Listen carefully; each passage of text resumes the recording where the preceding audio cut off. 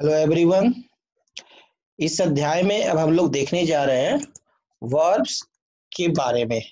Verbs क्या है? What is verbs आप लोग ऑलरेडी जानते हैं वर्ब क्या है। एक बार देख लू। Verb is a word which says about the action of a person और अ थिंग वर्ब किसी सेंटेंस का सबसे महत्वपूर्ण शब्द है। जो यह बताता है कि कोई व्यक्ति या वस्तु क्या कर रहा है या क्या कर रहा था। यानी अबाउट द एक्शन एक्शन के बारे में ऑफ़ ए पर्सन और ए थिंग या कह सकते हैं verb is a doing word doing word कोई भी सेंटेंस बिना सब्जेक्ट और वर्ब का नहीं हो सकता है। किसी भी सेंटेंस के लिए दो चीज़ रिक्वायर्ड है। एक तो पहला सब्जेक्ट और उसके बाद वर्ब और यहाँ हम लोग पढ़ने जा रहे हैं वर्ब्स के दो two types of verbs first एक पढ़ेंगे ट्रांजिटिव वर्ब ट्रांजिटिव वर्ब और दूसरा intransitive verb intransitive verb ये दो भर्व के बारे में मैं आप लोगों को बताने जा रहा हूँ। और इन दो से ही कंपटीशन में क्वेश्चंस आते हैं और या एग्ज़ाम में क्वेश्चंस बहुत सारे आते हैं। चलिए हम लोग देखते हैं।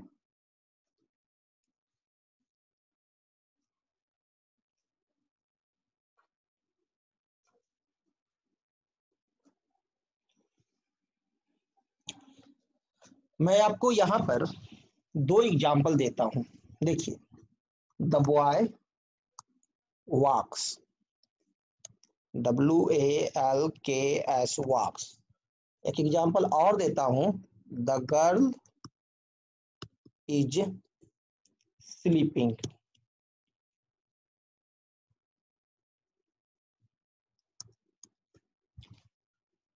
अब आप दोनों सेंटेंस को देखकर मुझे बताइए कि सेंटेंस में सब्जेक्ट कौन है और वर्ब कौन है?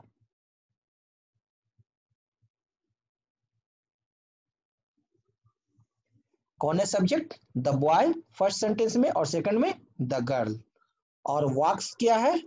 वर्ब है. और स्लीपिंग क्या है? वर्ब है. है ना? तो ये हो गया हमारा सब्जेक्ट और यह है हमारा वर्ब वर्ब यानी डूइंग वर्ड कोई क्या कर रहा है। वही हमारा हुआ वर्ब फ़र्स्ट हम देखते हैं इन ट्रांजिटिव वर्ब अकर्मक क्रिया। जिस वर्ब का समूचा फल या असर सब्जेक्ट कर्ता तक ही सीमित रहे, उसका असर उसके ऑब्जेक्ट पर नहीं पड़े तो उसका कोई ऑब्जेक्ट हो ही नहीं, उस वर्ब को इन इंट्रांजिटिव वर्ब अकर्मक क्रिया कहते हैं। कोई भी सेंटेंस जिसमें वर्ब का असर सिर्फ़ सब्जेक्ट पर ही रहे ऑब्जेक्ट पर नहीं रहे तो वैसे सेंटेंस को हम लोग कहते हैं, वैसे सेंटेंस में उस वर्ब को कहते हैं इंट्रांजिटिव वर्ब जैसे द बॉय वॉक्स और द गर्ल इज़ स्लीपिंग में वॉक्स का असर सिर्फ़ बॉय सब्जेक्ट पर ही रहता है और इस स्लीपिंग में स्लीपिंग का असर सिर्फ़ गर्ल पर ही रहता है। तो हम यहाँ कह सकते हैं कि वॉक और स्लिप दोनों का दोनों हमारा इंट्रांजिटिव वर्ब है।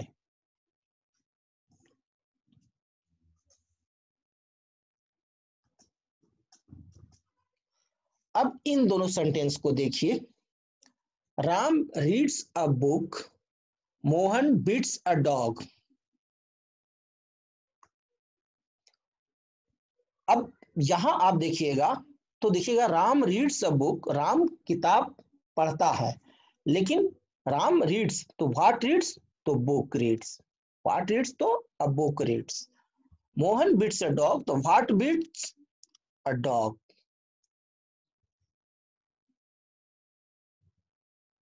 देख रहे हैं कि बिट का जो असर है वो किस पर पड़ रहा है? डॉग का, और राम पढ़ता है तो उसका असर किस पर पड़ रहा है? बुक पर. क्लियर है? तो इन ट्रांजिटिव वर्ब में क्या होता है कि जो असर होता है, वह ऑब्जेक्ट पर नहीं पड़ता है। जैसे देखिए, हमारा क्या सेंटेंस था? द बॉय वॉक्स और एक सेंटेंस है the girl is sleeping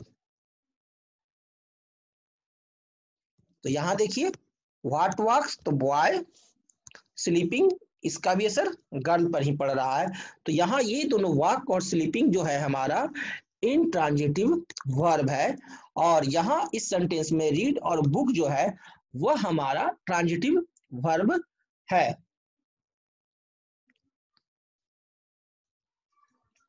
transitive verb सकर्मक क्रिया। जिस वर्ब का समूचा फल या असर ऑब्जेक्ट कर्म पर पड़े उसे ट्रांजिटिव वर्ब कहते हैं। और जिसमें भी वर्ब का समूचा फल या असर ऑब्जेक्ट पर पड़ता है तो वैसे वर्ब को क्या कहते हैं?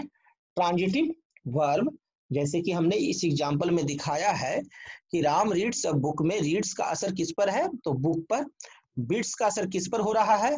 तो डॉग पर मार रहे हैं तो रो कौन रहा है? कुत्ता। तो यहाँ पर हमारा रीड और बिट रीड एंड बिट ये दोनों क्या है? ट्रांजिटिव वर्ब है। अब आपके दिमाग दिमाग में एक सवाल आ रहा होगा कि हम कैसे आइडेंटिफाई करें किसी भी सेंटेंस में कि कौन हमारा ट्रांजिटिव वर्ब है? और कौन हमारा इनट्रांजिटिव वर्ब है? इस चीज़ को हम कैसे आइडेंटिफाई करें? ट्रांजिटिव और इंट्रांजिटिव तो सीख लिए। लेकिन किसी सेंटेंस में कौन ट्रांजिटिव है और कौन इंट्रांजिटिव है, वो कैसे समझे? तो इसके लिए हम लोग लगाते हैं वाट वाट से पता चलेगा। चलिए देखते हैं। कोई भी दिया हुआ वर्ब ट्रांजिटिव है या नहीं, पहचानने का एक आसान तरीका है। सबसे आसान तरीका है कि आप वर्ब से पूछिए वाट क्या? और यदि उसका जवाब ऑब्जेक्ट से मिल सकता है तो वह वर्ब ट्रांजिटिव है, अन्यथा इनट्रांजिटिव आपको सिर्फ़ वर्ब से सवाल करना है वाट बस, आप वाट सवाल लगाइएगा वर्ब पर, और यदि वह जवाब ऑब्जेक्ट से मिला तो वह वर्ब ट्रांजिटिव और अगर ऑब्जेक्ट से जवाब नहीं मिला तो वो वर्ब आपका इनट्रांजिटिव रहेगा उस सेंटेंस में। क्लियर उस सेंटेंस में। जैसे, देखिए यहाँ पर मैं कुछ सेंटेंस लिख रहा हूँ, ध्यान देंगे।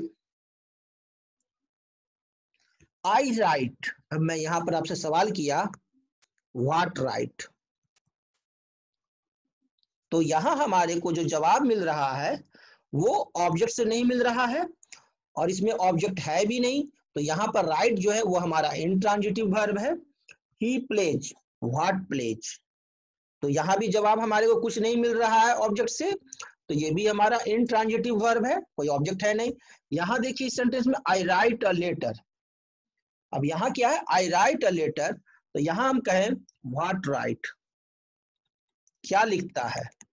तो जवाब आया लेटर है ना? ए लेटर जवाब आया दिस इज़ ऑब्जेक्ट और इस वर्ब का असर इस ऑब्जेक्ट पर पड़ रहा है। तो ये लेटर जो है, पर असर पड़ा, इसलिए यहाँ पर इस सेंटेंस में राइट जो है वह हमारा हो जाएगा ट्रांजिटिव वर्ब लेकिन यहाँ पर राइट क्या है? Intransitive he plays cricket what plays सवाल किए? व्हाट प्लेज तो जवाब आपका क्या आएगा? Cricket plays sir sir cricket plays है ना? यानी आपका जो प्लेज का जो असर है, वो किस पर गया? ऑब्जेक्ट पर। जब प्लेज का असर ऑब्जेक्ट पर चला गया तो प्लेज हमारा इस सेंटेंस में क्या हो गया? ट्रांजिटिव वर्ब तो आप देख रहे हैं कि वर्ब का नेचर सेंटेंस पर डिपेंड करता है कि वो ट्रांजिटिव है कि इनट्रांजिटिव है। आई राइट अ लेटर हमने सवाल किया राइट से, है ना? वाट राइट तो जवाब मिल गया अ लेटर है ना? तो हमारा राइट यहाँ इस सेंटेंस में क्या हो गया? ट्रांजिटिव वर्ब क्लियर है? तो अब हमें लगता है कि आप किसी भी सेंटेंस में कौन सा वर्ब ट्रांजिटिव है और कौन सा वर्ब इनट्रांजिटिव है, यह पता कर सकते हैं।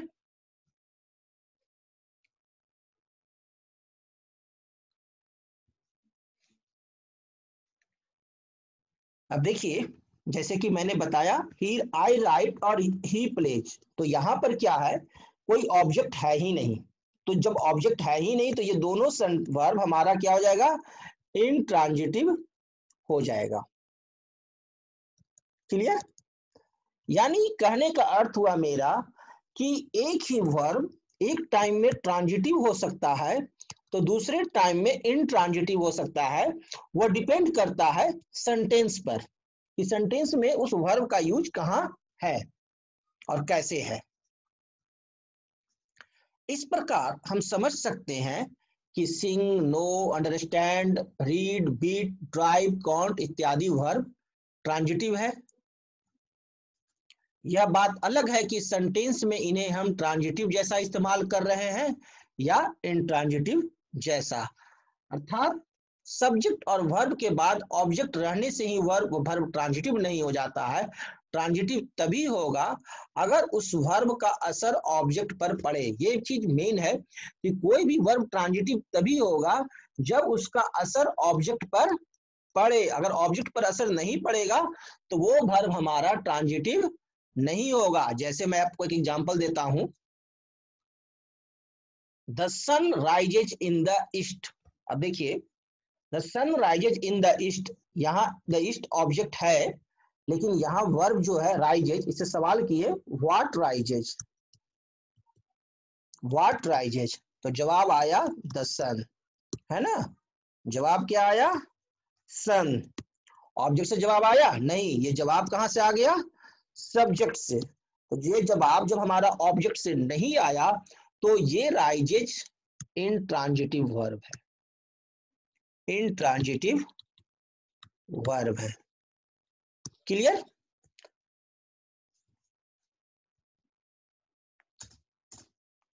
अर्थात वर्ब को ट्रांजिटिव जैसा इस्तेमाल होने के लिए यह ज़रूरी है कि वर्ब का असर उस ऑब्जेक्ट पर पड़े।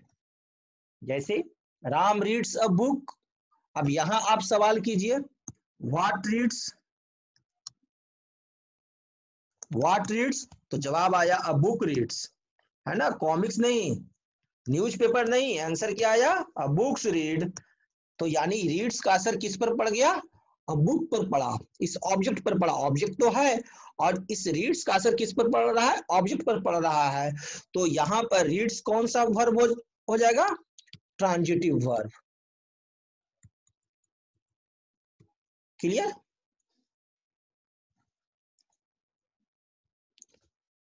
अंग्रेज़ी में कोई भी वर्ब हमेशा ट्रांजिटिव या इनट्रांजिटिव नहीं होता है, बल्कि यह कहना चाहिए कि अमुक सेंटेंस में अमुक वर्ब को ट्रांजिटिव जैसा या इनट्रांजिटिव जैसा व्यवहारित किया गया है। तो हम जानते हैं कि वर्ब में सेंटेंस जो है, वो कभी ट्रांजिटिव हो जाएगा, कभी किसी दूसरे सेंटेंस में इनट्रांजिटिव हो जाएगा। वो डिपेंड करता है कि सेंटेंस में ऑब्जेक्ट है कि नहीं है। और वर्ब का असर ऑब्जेक्ट पर पड़ रहा है कि नहीं पड़ रहा है? देखिए, कुछ हम इंट्रांजिटिव वर्ब के एग्ज़ाम्पल दिखा रहे हैं। Ponds dry up in summer आप सवाल कीजिए ड्राई अप पर व्हाट लगाइए? व्हाट ड्राई अप जवाब किससे मिला? पॉन्ड्स पॉन्ड्स ड्राई अप है ना? ऑब्जेक्ट से जवाब मिला? नहीं। जवाब किससे मिला? सब्जेक्ट से। तो ड्राई अप हमारा क्या हो जाएगा? Intransitive verb the child grows slowly what grows the child grows जैसे ही व्हाट लगाए ग्रोज पर तो जवाब किससे मिला? सब्जेक्ट से ऑब्जेक्ट से नहीं मिला। तो हमारा ग्रोज क्या हो गया? Intransitive the train stopped a here what stopped तो जवाब आया ट्रेन से। तो स्टॉप्ड हमारा क्या हो गया? सब्जेक्ट है द ट्रेन और इससे जवाब मिला। तो हमारे को स्टॉप्ड क्या हो गया? Intransitive you play with Ram what play तो ये राम से तो जवाब नहीं मिल रहा है है ना? यू प्ले विथ राम तो ये जवाब हमें ऑब्जेक्ट से नहीं मिल पा रहा है। यू प्ले विथ राम तो हमारे को ये सेंटेंस क्या हो जाएगा? इंट्रांजिटिव सब्जेक्ट की तरफ़ से जवाब मिल रहा है ऑब्जेक्ट से जवाब नहीं मिल रहा है। No reply from object object से रिप्लाई नहीं आ रहा है।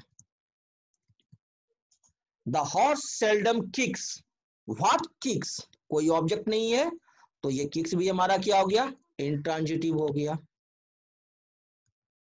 क्लियर तो हम लोग किसी भी सेंटेंस में वो ट्रांजिटिव है कि नहीं है, हम उस पर एक वाट लगाएँगे और देख लेंगे ऑब्जेक्ट है कि नहीं, अगर नहीं है और अगर है भी, और अगर उसका जवाब वाट का जवाब यदि सब्जेक्ट से मिल रहा है ऑब्जेक्ट से नहीं मिल रहा है तो वो वर्ब हमारा उस सेंटेंस में क्या होगा? इंट्रांजिटिव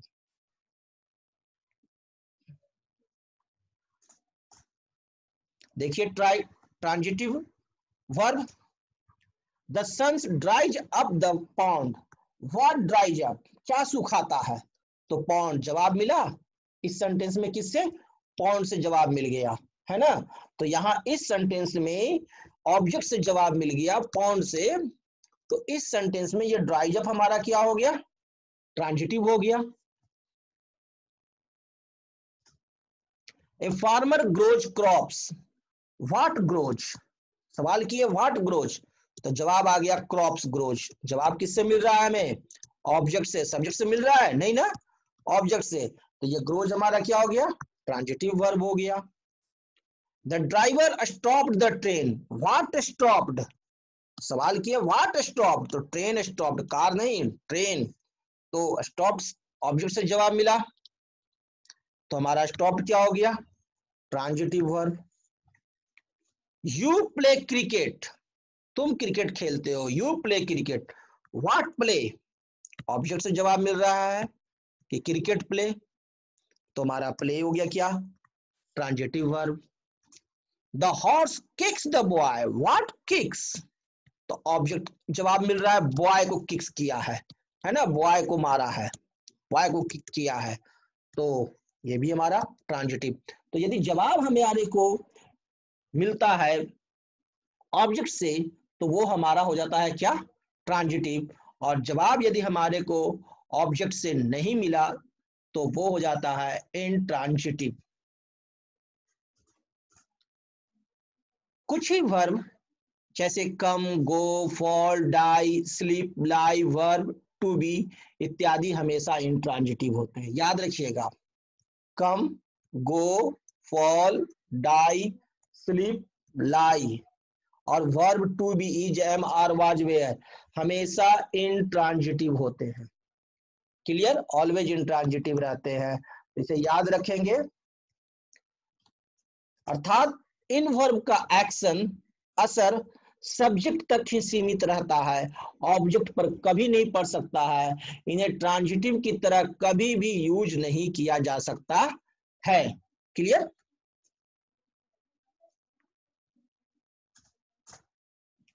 अब निम्नलिखित सेंटेंसेज में वर्ब कैसे इंट्रांजिटिव या ट्रांजिटिव है, ये अब आपको बताना है कि क्या है ट्रांजिटिव है और इंट्रांजिटिव है और है तो कैसे है।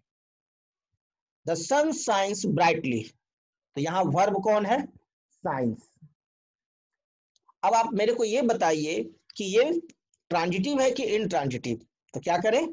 वाट लगा दें साइंस पर?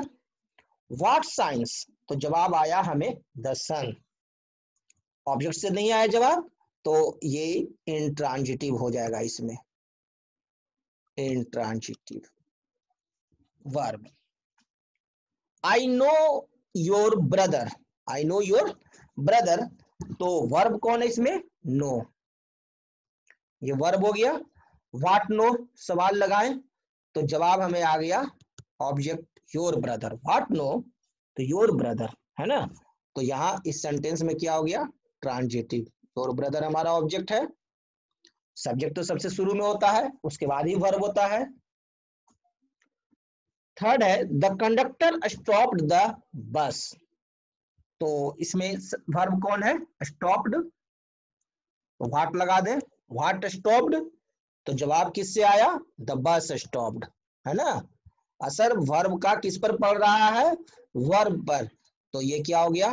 ट्रांजिटिव देख रहे हैं? बहुत आसानी से हम लोग पकड़ सकते हैं ट्रांजिटिव है कि intransitive the clock stopped this morning the clock stop this morning ये स्टॉप्ड क्या है हमारा वर्ब है। और द क्लॉक हमारा क्या है? सब्जेक्ट है। है ना? तो सवाल करते हैं व्हाट स्टॉप्ड तो जवाब हमें किससे मिल गया? सब्जेक्ट से। ऑब्जेक्ट से नहीं मिला सब्जेक्ट से मिला। तो ये हमारे को इंट्रांजिटिव क्लियर नेक्स्ट देखते हैं। He speaks too loudly he speaks too loudly what speaks तो कोई वर्ब से जवाब हमें नहीं मिल रहा है तो ये क्या हो गया? Intransitive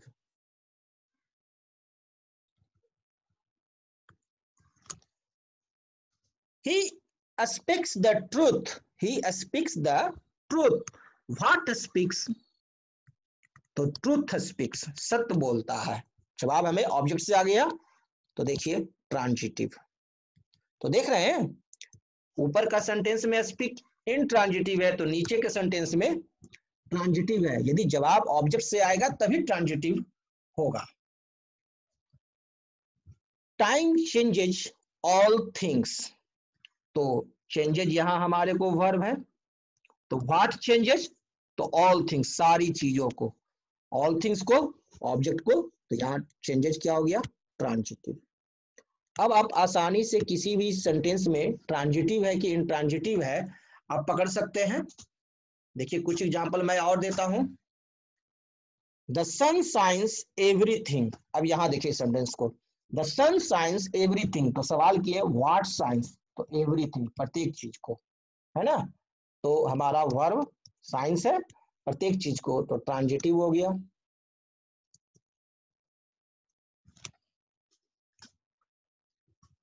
Ram sings in the bathroom. तो व्हाट सिंग्स जवाब नहीं आया तो बाथरूम में ना व्हाट सिंग्स क्या गाता है? तो वो तो नहीं है है ना?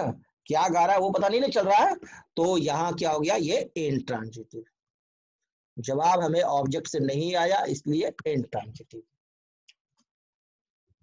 Ram sings a song अब इस सेंटेंस में देखिए सिंग्स वर्ब है।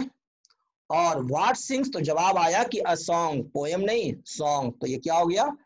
हमारे को ट्रांजिटिव। जवाब हमारे को यहाँ ऑब्जेक्ट से आया, इसलिए सिंग्स हमारे को ट्रांजिटिव। चलिए, फिर आप बताइए। We eat three times a day verb कौन है? इट बताइए, ट्रांजिटिव है कि इंट्रांजिटिव इंट्रांजिटिव वेरी गुड क्यों? क्योंकि जवाब हमें ऑब्जेक्ट से नहीं आ रहा है। मैं पूछता हूँ व्हाट इट तो ये नहीं दिया हुआ है कि राइस सुगर दाल, कुछ भी नहीं बताया हुआ है। थ्री टाइम्स अ डे है। यानी इट का असर ऑब्जेक्ट पर नहीं पड़ रहा है इस सेंटेंस में। इसलिए यहाँ पर इस सेंटेंस में इट क्या है? Intransitive clear we eat rice अब यहाँ देखिए इट क्या है? वर्ब है। अब ये बताइए, इस सेंटेंस में इट क्या है? व्हाट लगा दिया? व्हाट इट तो जवाब आ गया ना राइस इट तो ट्रांजिटिव है। क्लियर ट्रांजिटिव वर्ब है। He easily lifted the heavy weight अब लिफ्टेड हमारा क्या है? वर्ब है। सवाल किए व्हाट लिफ्टेड तो जवाब आया द हेवी वेट भारी वज़न, आसानी से उठाता है। तो ट्रांजिटिव है।